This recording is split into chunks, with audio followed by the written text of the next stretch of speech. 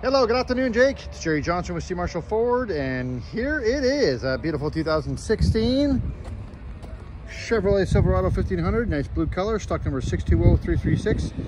Yes, this truck is here, it's available.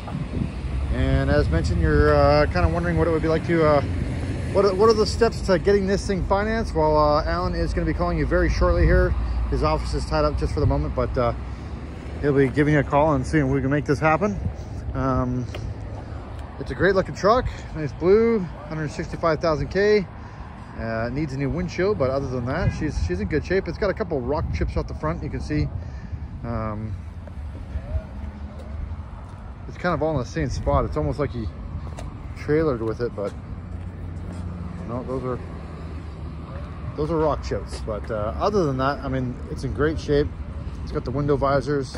I mean, I'm sure a 2016 this kind of K, you're not expecting perfection anyways, but it is a nice truck. 6.5 foot box, the full crew cab. The interior is in absolutely A1 condition, in great shape. Seats in the back look like they've never been sat in. You get the big 8 inch touchscreen, AM, FM, XM, cargo lights, air conditioning of course. You get the Bluetooth and cruise control.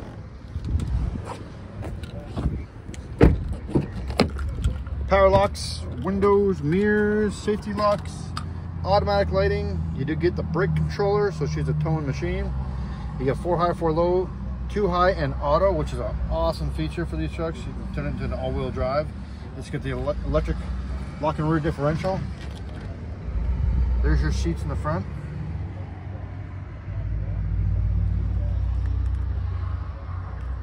Looking good.